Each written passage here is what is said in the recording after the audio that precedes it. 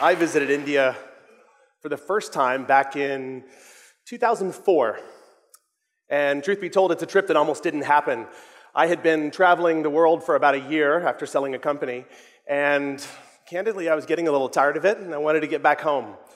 But my girlfriend at the time convinced me that taking a trip to India would be, in her words, one of the most eye opening and soul opening journeys of my life. And it turns out she was completely right. That's me. What do you think? You like the shaved head look? I can go back and do it right now again. Um, clearly, I got into the spirit of things very quickly uh, and fell in love with India. Uh, I had three months here and visited some of the most amazing cities in the world Kolkata and Varanasi and Agra, and the list goes on. I even made it down here to Goa. And in that time, something unusual happened that I didn't expect. Uh, I definitely came to India as a tourist, no question about it. But I left as more of a pilgrim.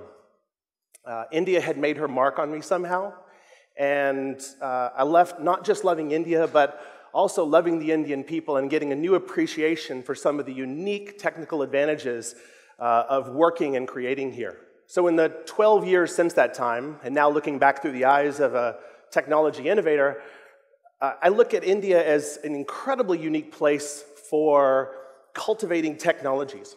And I think India has a few advantages that are just not found anywhere else in the world. For example, you've got IIT, which is six times more selective than our own MIT at home. You've got over a billion mobile subscribers, three times as many as the US, and second only to China. The largest collection of mobile developers outside of Silicon Valley, and the list goes on and on and on. But potentially, one of India's greatest assets is her founding father.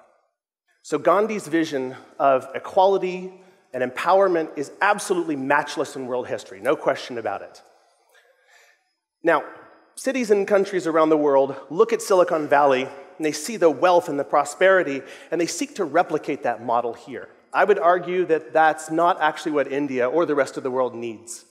For all of Silicon Valley's strengths, it's a place where technologies are cultivated with money in mind first. They're targeted at the urban elite and then the hope is that they trickle down over time to the rest of the world. I believe that the rest of the world and India would benefit from an innovation ecosystem that's based more on the values of Gandhi, something that prioritizes the needs of those who have the least and brings innovation and access to everyone. Now, I know it's easy to look around you in the world and to see scarcity and hunger and all these other needs. It's easy to get pessimistic. But I actually believe that this is not the natural state of things. I think that we are currently at a unique point in human history. Right now, the pace of technical innovation is increasing. We know that, we can feel it, but it's not linear. It's starting to increase at an exponential rate. And I and many others believe in this exponential innovation. We believe that we are now at a time where as a human race, we are within grasp of being able to satisfy all of the basic human needs food, shelter, water, energy, medicine. It's truly an incredible time to be alive. I think this is an incredible time for India, and I think the Indian culture of frugal hacking and jugaad is a perfect mix for this era of exponential innovation, ensuring that all Indians, and in fact, everyone in the world has access to all the things they need to have a happy and productive life. Now, one of those human needs that requires a great deal of fixing is healthcare. Like many of you, I believe it's a moral imperative that we address this issue, not only with new technologies, but also with a new model of care that provides access for all, whenever and wherever it's needed. Within healthcare, one of the biggest challenges is diagnostic imaging, and that's the focus of my company, specifically X ray imaging.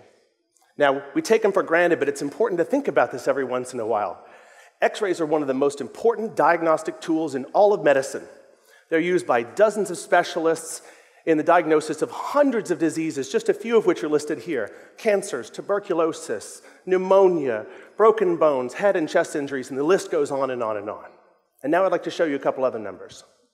Three billion. That's the number of people on earth who have absolutely no access to this important technology.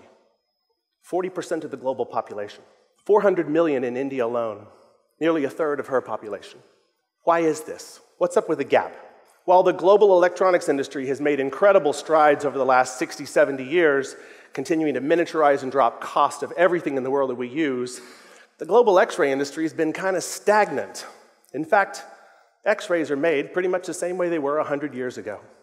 And that means what we have are large pieces of equipment in centralized hospital facilities or centralized diagnostics facilities, and they're run by specialized physicians or radiologists. That puts them out of reach of many of those 3 billion people and many of the people in India's 600,000 rural villages. Okay, that's the big hospital systems. But then there's got to be portable systems, right? I mean, we do have those. Well, it kind of depends on what you call portable. This is a state of the art in portable imaging, a giant wheeled cart. In fact, what you're looking at there is only part of an x ray system. That's just the head alone. Once you add in the digital detector panels and the computers and get ready for it, car batteries. These things run on car batteries. You end up with over 100 kilograms of equipment. Now, I don't know about you, but if something weighs 50% more than I do, it's not portable. This is the best the global x ray industry can do today. Or should I say, it's the best they've been able to do. Because finally, now, there's been a breakthrough. And it's due to something that we all take for granted, uh, an annoying little phenomena that we're all very familiar with. So you shuffle your feet across the carpet, you reach the doorknob, and tap! We all know this shock. We call it static electricity, but the truth is it's anything but static. Turns out it's far more powerful than we ever realized. And if you think about it, it makes sense. This is the same power that generates lightning, lightning bolts that go for miles and generate hundreds of millions of volts of electricity. So, about 10 years ago, a group of crazy smart scientists at UCLA the guy on the left is actually my co founder, Carlos Camara. They started thinking about static electricity in a whole new light. And in 2008, they made a fundamental breakthrough in physics, the kind of breakthrough that happens once in a generation. What they discovered was that you can use static electricity to make x rays.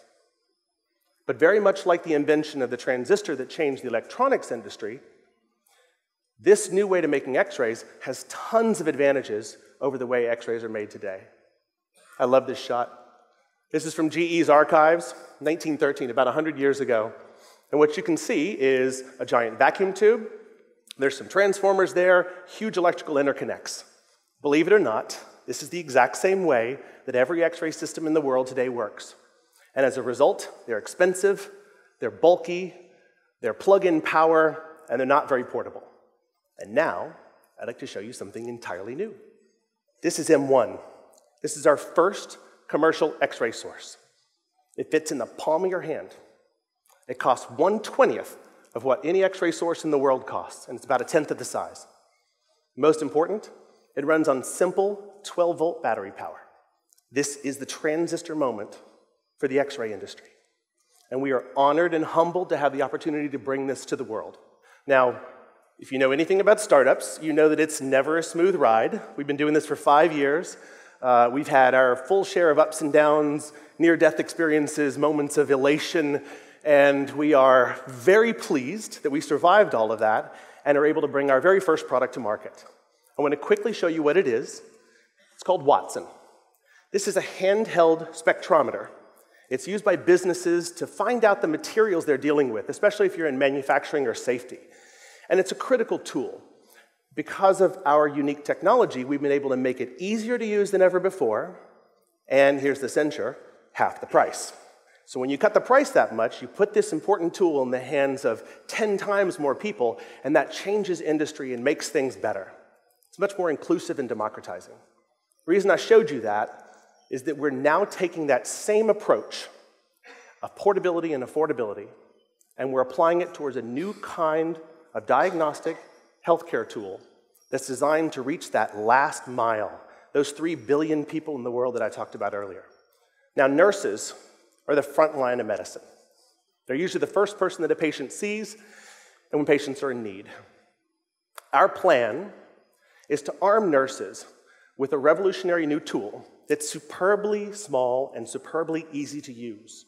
We want to skip this antiquated model where you transport a patient to a stationary diagnostic facility and instead bring the diagnostics to the patient. So I'd like to introduce something we call MODIS. MODIS, Mobile Digital Imaging System. This is a small portable system, smallest in the world. It can go anywhere, fits in a backpack, weighs less than 15 kilograms. It can take diagnostic medical imaging anywhere in the world it's needed. So whether you're an emergency aid worker or someone uh, running in a rural clinic trying to treat patients, MODIS can actually go wherever you need and deliver care. It's designed for speed of deployment, unfolds in seconds, and the primary interface is a tablet, which makes it very intuitive and easy to use for the nurse, as well as making it easy to share that information with others. Now, designing a really amazing piece of hardware is hard, and it's really great. It's a good first step.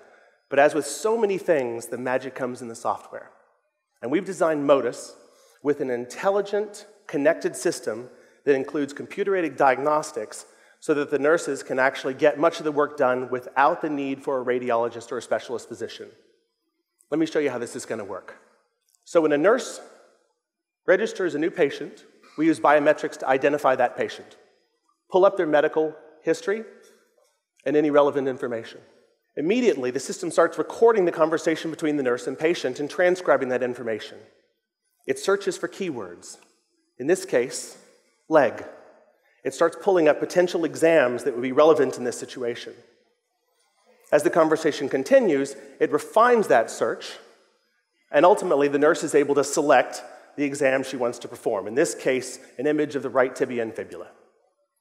Very quickly on screen, the system selects the appropriate settings and indicates a cartoon image to illustrate how to position the leg under the image.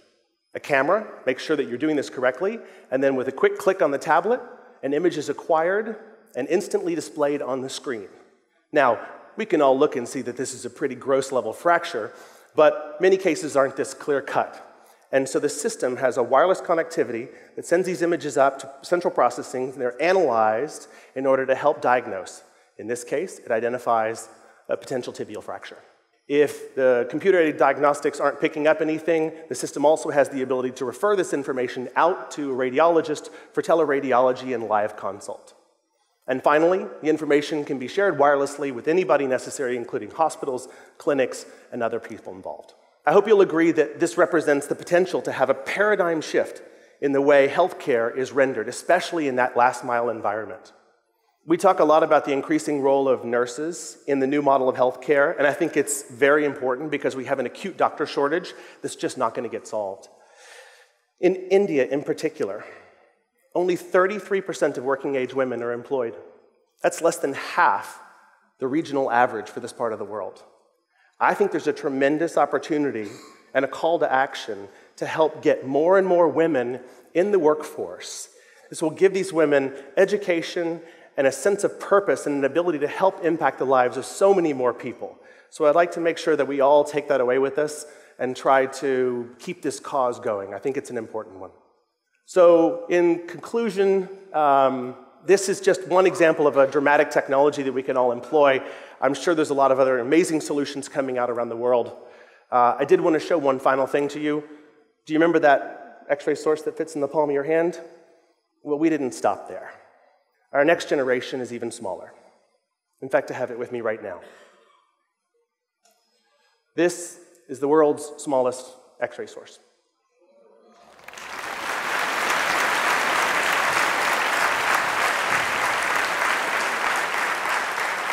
Thank you. A lot of very smart people are responsible for putting this together. And in the spirit of collaboration, I'd like to call on all of you in the audience and everyone listening to this to help us develop that next generation of technologies that exploits this in order to bring healthcare and diagnostics to everyone in the world, wherever they may be, regardless of their ability to provide them themselves. Thank you all.